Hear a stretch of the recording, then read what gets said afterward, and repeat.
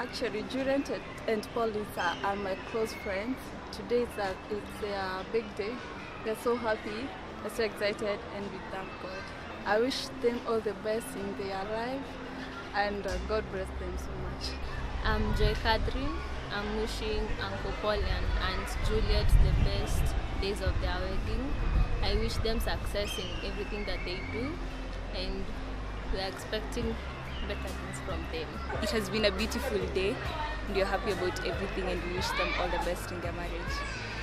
I am Mary. I'm super excited today, being Juliet and Paul's wedding. God has been so great. Uh, I would love to tell them and that may they keep God first in this marriage, and God is going to bless them and do them great things.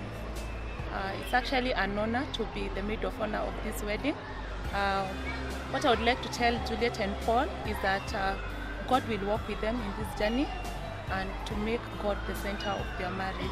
Everything is possible in God. As she becomes the wife, just uh, respect to the husband and submission. That's all. The rest will just flow.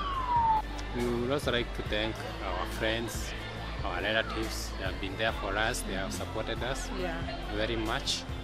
Many people have gone uh, that extra mile to see that this day is successful. Yeah. And also to thank you, camera guys. You have mm, You're amazing. put, put this day into record, and we really appreciate. Yeah. You are jovial, and uh, thank God for you guys.